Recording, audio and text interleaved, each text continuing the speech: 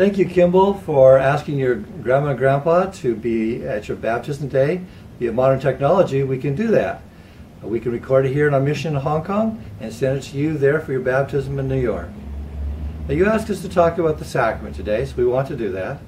Now, the sacrament is a holy or priesthood ordinance that helps remind us of the Savior's atonement. The bread and the water remind us of Jesus' flesh and blood, which he gave as a sacrifice for us. Today you'll be making covenants at your baptism. Then, next Sunday, as you partake of the sacrament, you'll renew those covenants with Heavenly Father. The first sacrament was given by Jesus when he called his apostles together in the upper room. And he was concerned because he would soon leave them. He wanted to have, give them a way they could remember him and what he would do for them and for all of us before he performed the atonement. So he introduced the sacrament to them. He took some bread broke it into pieces, and then passed it to them, and said, Take, eat. This is in remembrance of my body, which I give for a ransom for you.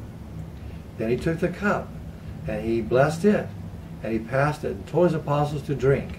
And he said, This is in remembrance of my blood, which is shed for as many as shall believe in my name, for the remission of their sins.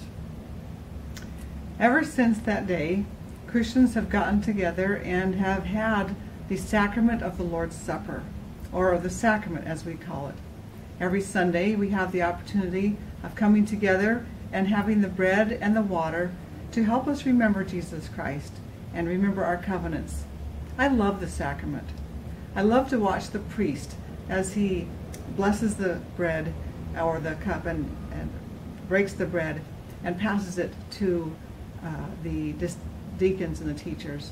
It reminds me of Jesus Christ at the very first sacrament when he did the same thing and he blessed the bread and, and broke it and gave it to the apostles. It helps me think of being right there with Jesus. I love to watch the deacons and the teachers as they pass the bread or pass the cup to all of us in the congregation. And I can imagine being there that first time when Jesus uh, was with his apostles and how they passed the bread and the cup to each other. In that sense, the priest stands in the place of Jesus and represents Jesus Christ at the sacrament. And the deacons and the teachers represent the apostles. And it really helps me to feel uh, really close to my Savior Jesus Christ. I know that taking the sacrament is very sacred. Sometimes on Saturday nights or Sunday mornings in my prayers, I will think about well, how I did in the past week, and if I remember Jesus, and if I kept his commandments. I try to think about how maybe I could have done better, and I repent of my sins. It's a good time for me to repent and to think about Jesus and to prepare myself so that when I come on Sundays to receive the sacrament, I can promise again to remember him better. Kim, with your baptism today, you witnessed that you are willing to take upon yourself the name of Jesus Christ. And you'll renew that when you partake of the sacrament each Sunday. By this, you're willing to you're showing to your heavenly Father and to Jesus that you're willing to follow Him and to always to serve Him and to serve others. You also covenant to remember Jesus in all your thoughts, your feelings, and your actions. They'll be influenced by the gospel that He teaches.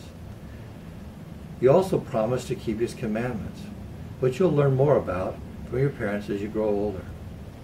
These are the same promises that Grandma and Grandpa made when we were baptized. And then each Sabbath day, as we go to church and we partake the sacrament, we renew those same covenants. Jesus said that before we partake of the sacrament, we should repent of our sins. Then we'll gain a remission of our sins. And we'll always have His Holy Spirit to be with us. I testify that the Holy Spirit will guide you and direct you, and you will have the knowledge, faith, power, and righteousness to return to live with your Heavenly Father. I am especially grateful for the promise that I might have His Spirit to be with me. I did not join the church when I was eight years old, like you're doing. I was looking for different churches and trying to find something that I read about in the Bible that God had promised to all of us.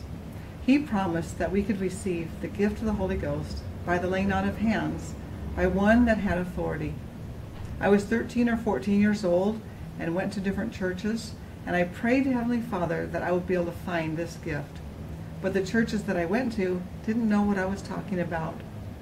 But then the missionaries from the Church of Jesus Christ of Latter-day Saints came and they taught me about baptism and about receiving the gift of the Holy Ghost. I was so grateful that Heavenly Father had led me to what I was looking for. I love the Holy Ghost. I'm grateful that when I repent and I receive the sacrament, I can have His Spirit to be with me, to teach me and to guide me. Elder Neal A. Maxwell of the Quorum of the Twelve Apostles frequently spoke about the Holy Ghost, and he called the Holy Ghost the tender tutor. Tender meaning gentle, kind, and patient. Tutor meaning a private teacher, one that teaches us one on one. I like that phrase, a tender tutor. And I know that, Kimball, as you receive the gift of the Holy Ghost today, that the Holy Ghost will be a tender tutor to you to help you uh, repent of your sins and become more and more like our Savior Jesus Christ. Kimball, we testify to you that the gift of the Holy Ghost is a sacred blessing and a sacred gift from our Heavenly Father, that He will help you become like Jesus Christ and be able to return to live with Him and with Heavenly Father. And we testify of this in the name of Jesus Christ. Amen. Amen.